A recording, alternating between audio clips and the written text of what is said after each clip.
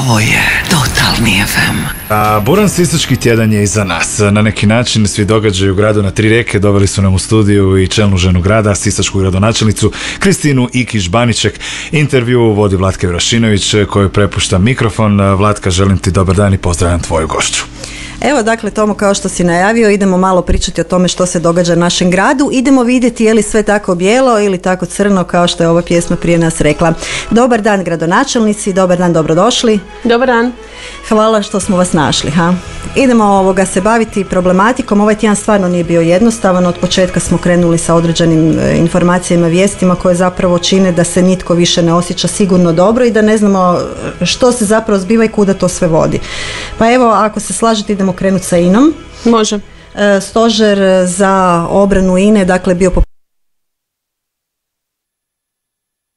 prilično aktivan već prošlog tjedna pa ovoga tjedna. Mi smo reagirali, tražili smo zapravo nekakav odgovor iz INE, došao iz korporativnog sektora, pa idemo čuti evo što INA kaže o situaciji u Sisku.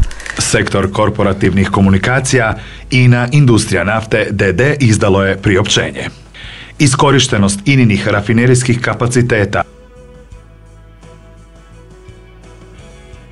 redovito se prati, optimizira i prilagođava tržišnim uvjetima i ostalim relevantnim faktorima. Obzirom na drastičan pad cijena nafte, koji slabi profitabilnost ininog segmenta istraživanja i proizvodnje nafte i plina, potrebno je staviti još veći naglasak na poboljšanje profitabilnosti rafinerijskog poslovanja kako bi bilo samostalno i održivo.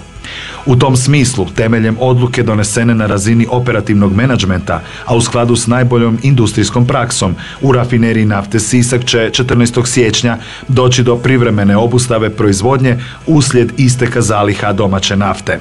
Navedena obustava proizvodnje predstavlja uobičajenu mjeru optimizacije poslovanja koja ne podrazumijeva zatvaranje rafinerije niti smanjenje broja zaposlenika. Ova mjera optimizacije je predstavljena svim razinama menadžmenta te je odobrena prošle godine u sklopu poslovnog plana kompanije za ovu godinu. Ponovno pokretanje proizvodnje u rafineriji nafte Sisak ostaje ovisno o vanjskom okruženju. INA kontinuirano motri vanjsko okruženje s ciljem iskorištavanja najboljih tržišnih prilika i stvaranja vrijednosti za kompaniju. U međuvremenu će proizvodnja biti koncentrirana u konkurentnijoj riječkoj rafineriji gdje je nastavak prerade nafte planiran tijekom prve polovice veljače. Za rafineriju nafte Rijeka uprava i nadzorni odbor INE su odobrili pripreme za značajnu investiciju u tehnologiju obrade teških ostataka kao dio nove strategije kompanije. Stoji u priopćenju INA, industrija nafte, DD, sektor korporativnih komunikacija. Evo tako su oni to nama lijepo iskomunicirali. 14. sjećan je prošao, zaustavila se proizvodnja, pogoni stoje. Moram reći da smo jutros osjetili malo miris rafinerije u gradu. E, što se događa? Da li možda imate neke detaljnije informacije? Da li ovo znači definitivan kraj ili je stvarno to eto samo neka stanka pred novu rundu pregovora? Da, naravno da Siščani osjećaju neizvjesnost zbog e, sudbine rafinerije i naravno da su radnici i njihove obitelji sa opravdanjem zabrinuti. Zanimljivo je ovo priopćenje, zanimljivo je e, korištenje izraza poboljšanje profitabilnosti, samostalnost, održivosti, nekakve odluke na razini operativnog menadžmenta. Ja bi podsjetila da su nekakve odluke donešene i na razini puno višoj od operativnog menadžmenta o modernizaciji Sisačke rafinerije, da je mađarska strana bila svjesna što potpisuje kada je preuzimala e, svoj udio u industriji nafte, u hrvatskoj industriji nafte i da ništa od toga nije bilo ispoštovano. Dakle, svi ti ugovori su još uvijek na snazi i ono na čemu ja inzistiram zajedno sa stožerom za obranu interesa Sisačke rafinerije od početka u tom smislu smo donijeli i zaključke na gradskom vijeću da se dakle stvari vrate na početak i da se ispoštuje ono što je potpisano. Ništa, ništa više i ništa manje, ne tražimo ništa što nam ne pripada. Tražimo da se hrvatska nafta i dalje uh, dakle prerađuje u hrvatskoj rafineriji. E, da, naravno, riječka rafinerija ima sa jedne strane neke prednosti, međutim i sisačka rafinerija ima neke komparativne prednosti u odnosu na riječku. I ono što je struka vrlo jasno rekla, a to, to nije dakle rekla ni politika niti ja, nego ljudi koji rade i koji žive od te rafinerije godinama, da postoji računica da sisačka rafinerija može poslovati profitabilno pitanje je dakle koja je to granica koju neka naftna kompanija ili neka strana Mađarska konkretno u ovo jednostrano može odlučiti da zbog nekakvog ekstra profita e, nekakvom odlukom preko noći odluči o sudbini preko 900 ljudi, znači preko 900 obitelji. To nije scenarij sa kojim ja smatram da se Sisak treba suočiti i osobno od početka sam u kontaktu sa stožerom, zajedno sa njima lobiram, zajedno organiziram sastanke sa članovima i predstavnicima vlade i činimo sve što je u našoj moći da do toga ne dođe. E, ponavljam, nije bitna samo računica, tome često često novinari pitaju koliko grad dobiva komunalne naknade, koliko grad dobiva poreza i prireza. E, stvari socijalne slike i stvar je puno viših interesa ne samo sisačkih nego hrvatskih koji se prelamaju na pitanju sisačke rafinerije. Upravo ovih dana evo i oči su uprte u vas jer naravno rafinerci očekuju da čelna osoba grada učini nešto i štiti njihov interes, samim time interes svih sišćana. Evo što poduzimate ili što ste poduzeli obzirom da naravno i očekujemo nekakvu reakciju vašu e, prema upravi INE pa tako i onoj hrvatskoj i mađarskoj strani. E, mislim da smo i samim samom zajedničkom organizacijom prosvjeda koji je po meni bio jako dobar i bio je dobar odaziv Sišćana, možda je mogao biti i bolji, pokazali da stojimo iza stožera, da e, radnici Sisačke rafinerije nisu sami i da smo od početka sa njima uključeni u sve razgovore, tako ćemo i nastaviti i kažem zajedničkim snagama budući da nam je zajednički interes, zajednički cilj e, ono što sam i ovih dana napomenula, ukoliko mađarska strana zaista smatra da ne može sisačku rafineriju dovesti do te razine kako oni kažu profitabilnosti, neka prepusti onda to Hrvatskoj državi da oni to vode, mi ćemo sigurno znati kako da učinimo sisačku rafineriju profitabilnom. Dakle, e, kao što saznamo sljedeći tjedan e, se očekuje neki sastanak na malo višoj razini koji pripremate vezano zinu. Sastanci na, na uvjetno rečeno višim razinama se organiziraju od početka i dakle ponavljam, zajedno smo na, na istoj liniji, imamo isti cilj i zajedno djelujemo i grad, odnosno ja i, i stožer. Zaključujemo dakle da kao gradonačelnica Siska nećete dozvoliti da dođe do gašenja INE? Ne, ne, apsolutno spremni smo i ja i stožer na e, sve akcije uh, koje bi spriječile dakle Pokazalo se da je i sam prosvjed došao u pravom trenutku i da je sam prosvjed učinio taj pozitivni pritisak prema javnosti. I naravno e, bilo je i za očekivati da će mađarska strana kad taj pritisak popusti ponovno nastaviti puštati uvjetno rečeno probne balone i e, kalkulirati sa zatvaranjem rafinerije, ali ako misle da smo se opustili da ćemo dozvoliti da se nekakve odluke suprotno interesu Hrvatske i suprotno interesu sisačke javnosti donesu preko noći varaju Evo idemo dalje sa ovim tjednom. Nakon INE e, došla je još jedna informacija koja nikad ne može naravno biti ugodna, a to je povećanje cijene vode u gradu Sisku od 1. siječnja. Računi će tek doći uvećani za veljaču. E, koliki je porast cijene vode i zašto dolazi do porasta cijene vode? Dakle, kao što znate, 2010. je bivši gradonačelnik potpisao projekt pročistača sa Europskom bankom za obnovu i razvitak, projekt koji je tada bio težak 32 milijuna eura i tada je dakle već u tom ugovoru stajalo da će morati ići određena korekcija cijene vode zbog troškova, naime godišnji troškovi se procjenjuju na nekih 10 milijuna kuna. Od 2010. je prošlo pet godina, konzultanti koji su tada za EBRD radili procjene su e, nagađali da će porast cijene vode ići otprilike 100%. To je praksa koju smo vidjeli u drugim gradovima sa pročistačima, recimo Karlovcem i Zagrebom. Stoga smo mi već 2013. E, čim smo preuzeli odgovornost za vođenje grada i vođenje vodovoda, krenuli sa akcijama kako bi umanjili taj udar na građane. Ono što smo konkretno uspjeli je da ukupan kredit koji je sada nešto manji jer su na tenderima postignute manje cijene i više nije 32 već 25 milijuna eura, da dakle čak 75% toga kredita preuzme Hrvatska vlada i Hrvatske vode, a da Sisački vodovod e, vraća samo 24%, to je nekih 2 milijuna eura. Time smo dobili manevarski prostor da ova korekcija cijene, dakle u variabilnom dijelu ide zaista minimalno od 7 do 10%, što konkretno ako građane zanima znači da će na primjer račun za dva člana biti veći za 12,88 kuna, račun za tri člana će biti veći za nekih 19 15 kuna, za 4 člana za 25 kuna, što je u današnjoj, e, u današnjoj, e, današnje vrijeme zaista, zaista minimalno. To su dakle obaveze koje su proizašle iz nečega što je potpisano 2010. i što smo morali napraviti, jer jednostavno troškovi toga će nalagati da, da te stvari servisiramo. Naravno da bi situacija bila znatno lakša da je sa projektom pročistača od početka zamišljena izgradnja odvodnje u cijelom gradu, što nije napravljeno nego samo za dio zelenog brijega, stoga mi sad ubrzano projektiramo ostatak mreže odvodnje, budući da znaju i građani da je samo 40% grada Siska pokriveno sa mrežom odvodnje, tako da 2016. kada profunkcionira i dakle kada u punom pogonu počne raditi pročistač otpadnih voda, da što veći dio grada bude i prikopčan na tu kanalizacijsku mrežu. Problemi sa vodoopskrbnom mrežom što su vidjeli i građani na računima u prosincu, dakle kao što znate svaka tri mjeseca se očitavaju računi, e, došlo je u nekim kvartovima, konkretno u nekim ulicama u centru grada i na zelenom brijegu do velikih odstupanja. E, vodovod je dakle uzeo u razmatranje svaki račun po na osobu, oni će se stornirati i ponovo će se ići u očitanje.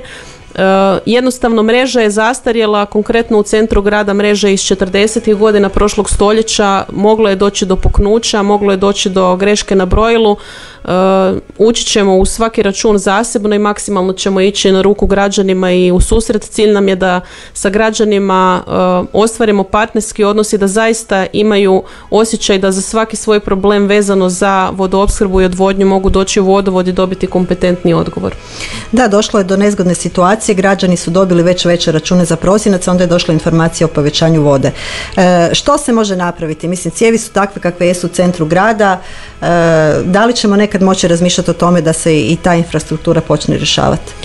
Pa mi je rješavamo, međutim, evo, neki dan smo imali tiskovnu na temu vodovode i na temu cijene vode i spomenuli smo jednu, jednu vijest koja je manje prošla zapaženo, a to je da je direktor vodovoda sadašnje digao kaznenu prijevu protiv jednog bivšeg direktora vodovoda i tadašnje uprave za radove u Lađarskoj koji su dakle e, u papirima izvedeni de facto plaćeni, međutim kada zakopate ispod zemlje nema cijevi.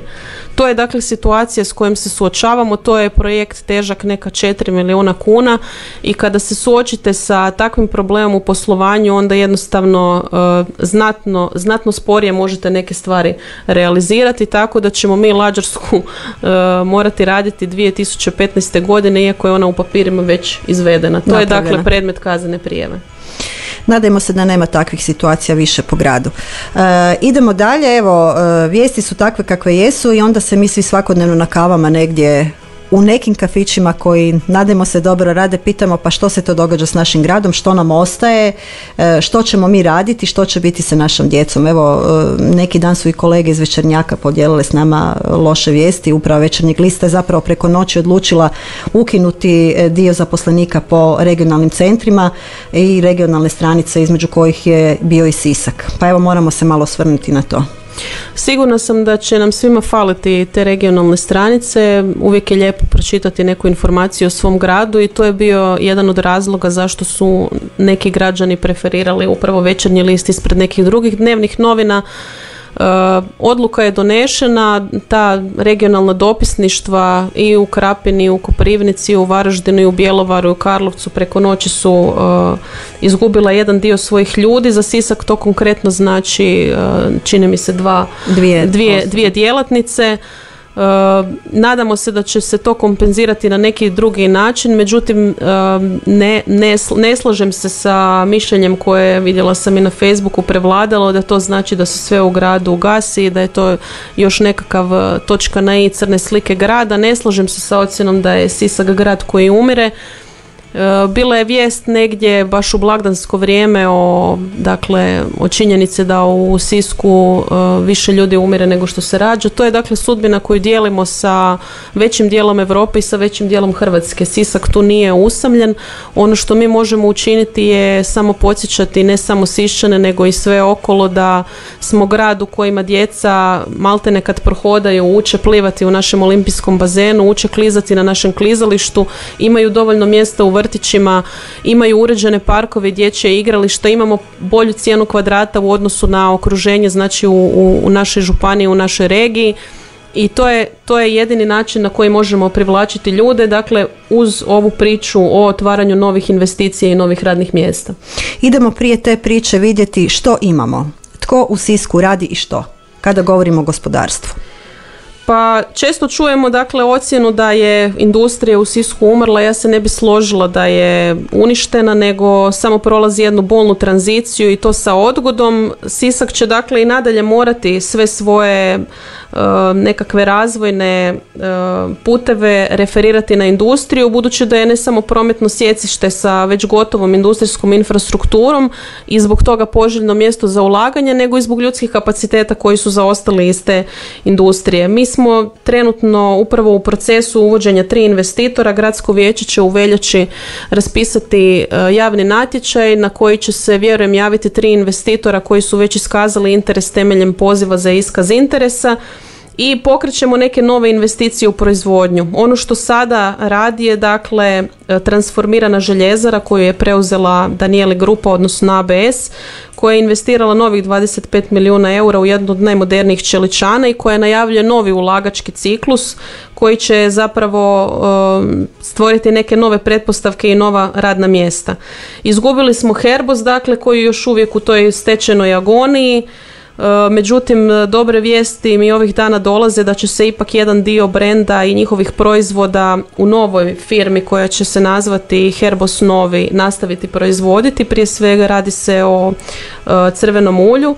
Segestica je dakle svedena na ostatke ostataka, a sudbina rafinerije, čuli smo to već u uvodu, je neizvjesna. Bilo je i drugih dakle tvrtki koje sišćani znaju i koji su izgubili tržišnu poziciju, ali su došli i neke nove. Došao je Oberndorfer, došao je Rorwerk Max Hute, došao je Cios i došao je Applied Ceramics, dakle koji u prostoru bivšeg instituta rafinerije ne samo da proizvodi keramiku za čipove, nego vodi jedinstven projekt u Hrvatskoj uh, poduzetničkog inkubatora.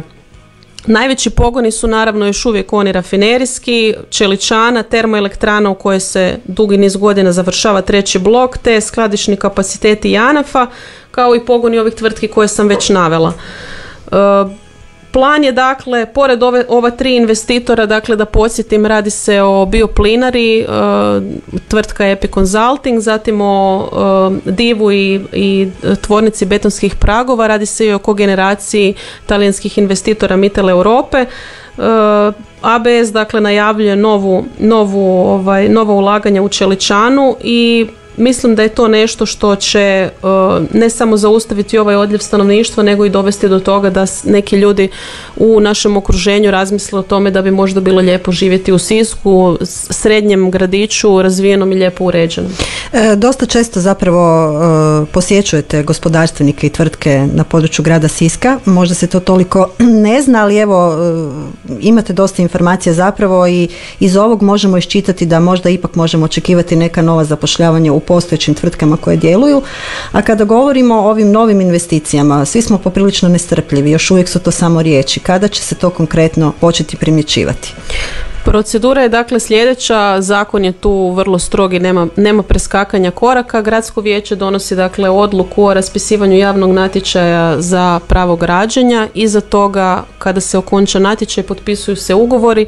Godinu dana iza toga bi već trebali novi pogoni niknuti s tim da je talijanski partner rekao da će i prije same gradnje pogona krenuti već na prikupljanju biomase i angažiranjem kooperanata tako da će uh, već ove godine biti vidljivi neki pomaci i na tom području. Budući da se zaista 20 godina nije apsolutno ništa na tom principu radilo i e, bio je vrlo mađehinski odnos prema ne samo e, gospodarstvenicima nego i novim investitorima.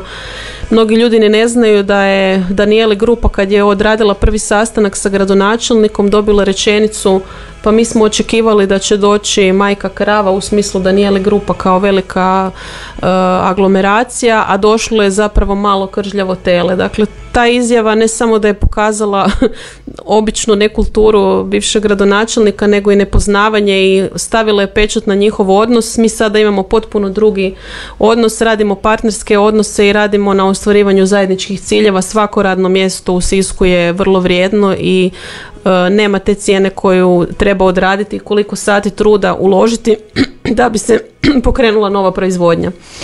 E, možemo li iz ovoga iščitati zapravo da je e, vaše krajnje nastojanje zapravo jedan od najvećih ciljeva e, vašeg vođenja ovoga grada to da zadržimo postojeća radna mjesta i da u što kraćem roku stvorimo nova? Naravno, u, u svrhu toga idu i svi ovi projekti, ljudi često pitaju čemu biciklističke staze, čemu uređenje komunalne infrastrukture, pa nitko neće doći u grad koji je razrušen, devastiran i u, i u kojem vlada beznađe. Dakle, morate prvo urediti okoliš da se investitor koji dođe osjeća dobrodošao, osjeća da je ovdje dobra klima ne samo za njega koji dolazi, nego i za njegove buduće djelatnike iz lokalnog stanovništva. Sve je to preduvjet, dakle, koji se paralelno radi sa privlačenjem novih investitora koji ponavljam su došli koji će krenuti i više neće biti uh, razmatranja i priča o tome da gradonačelnica priča bajke, nego će se i konkretne stvari vidjeti na terenu.